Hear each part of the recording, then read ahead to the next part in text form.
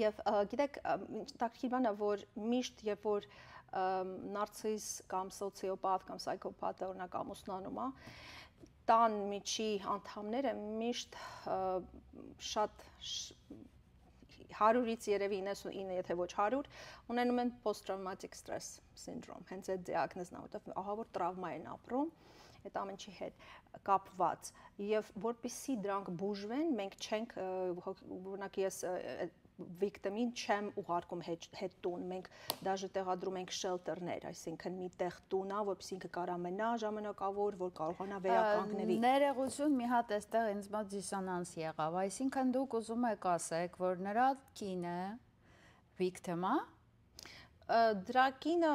շատ որովհետև այս պարագայում երբ մենք նայում ենք ինքը հստակ որպես ղեկավար է երևում եւ երբ որ մենք այդ ամենը նայում ենք, նես կարող եմ Նավալնի ընտանիքի հետ ուղիղ համեմատական տանեմ եւ եթե ես լինեի Նիկոլի փոխարեն, ես կնայի Նավալնիի վերջը ինչ եղավ եւ Նավալնիի կինը ինչպես է հիմա վայելում իր կյանքը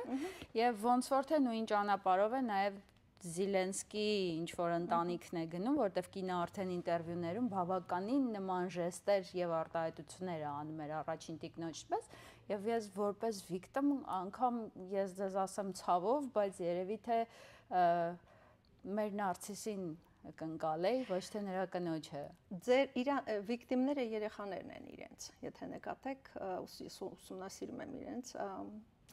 Իսկ կինը victim չի, կինը կիսում է այդ դիագնոզը շատ հավանաբար իր հետ, իր ամուսնու հետ, որովհետև ոչ մի նորմալ կին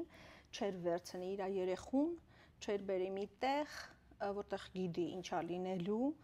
ու տանջանքի ոնց որ տաջանքների մեջ որ այդքան ատելության մեջ բերի ինքը իրեն պաշտպանելու համար իրա պաշտպանելու համար որպեսի կողքից տեսնեն որ ինքը երեխու հետ է եկել բարձր ինքը դա օգտագործում էր որպես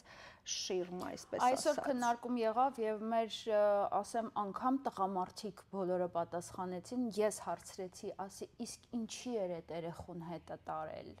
Ես չեմ ընդունում, երբ երեխաներին, հատկապես այդ տարիքի երեխաներին ինչ որ նեղություն են տալիս իրենց ծնողների պատճառով, ես դա չեմ ընկալում եւ ես այդ հարցը տվեցի եւ միանգամից առանց մտածելու պատասխանը գիտեք որն էր, որովհետեւ չի սիրում իր երեխային։ Ու եթե ինքը չի սիրում իր երեխային, արդյոք նա կարող է սիրել մի ազգ։ Իրենք սիրում են ուրիշ ձևի, նայեք, ես չեմ կարող ասեմ, որ չի սիրում երեխան։ Իրանք տեսնում են իրանց երեխաներին որպես իրենց շարունակությունը extension of themselves։ Այսինքն իրանք այդ ստեղծված իրավիճակը, երբ որ այդ երեխան բացահայտ իրեն ված զգաց կօգտագործեն, որպիսի այդ երեխան ատելության վերացի, այդ իրադարձությունը եւ այդ երեխան սկսի ատել այդ ազգը։ Չեմ կարծում, որ ինքը այդքան հերո էր մտածում, ինքը մտածում էր ստրատեգիկ, թե ինչ կարելի է անել, որպեսզի այդ իմիջը չկորցներ, ես մայր եմ, ես երեխու հետ եմ եկել, իսկ դուք այսպեսի վարվում եք իմ հետ։ Դա հաշվարկով առած քայլեր ու ինքը վերցրել է հենց իր ամենափոքրին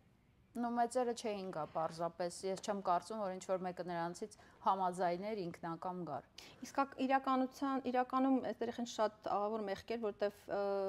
ես օրինակ իր երես որ ուսում տես նայում էր այդ վիդեոն տեսա ուլովակը ինչքան ամպրոմներ էր այդ երեխու աչքի մեջ համ papayi հանդեպ այդքան ատելությամբ լցված էր ողջ ազգը ու ինքը այդտեղ ինքը բացատրություն էր ուզում երևում էր որ ինքը հարցնում էր մայրիկին եւ մայրը ինչ որ մի բան ասեց ինչի հետո ժպտաց ինչ որ ձևի երևի աջակցեց երեխային գոնե այդպես ու դա շատ պաթոլոգիկ էր ես դες ճիշտ ասեմ որտեվ այդ պաթոլոգին ոնց որ միանգամից երևում էր երկուսի մոտ բնավորության խնդիրներն էր 100% ես չեմ կարծում որ իրանք շիզոֆրենիկ են դրա համար որտեվ շիզոֆրենիան մենք հասկացանք նարցիսների ընտանիք է ծաղկաբույլ այսպես ու գիտեք ու դժբախտաբար դա տարածվում է օրինակ psychopathy-ն ինքը տարածվում է ընտանիքներով, ինքը գեներով փոխ փոխանցվում է եւ շատ անգամ այդ երեխաները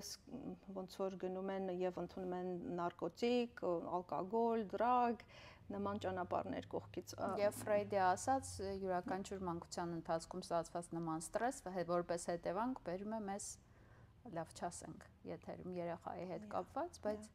Իրականում շատ տխուր է այդ իրավիճակը, նամանավանդ որ տեսնում ես, որ դաժե առավել եւս իրենց երեխեքին էլ չեն խնայում ինչ որ կետ A միջև կետ B հասնելու համար եւ հանձնելու մեր պատմական հողերը։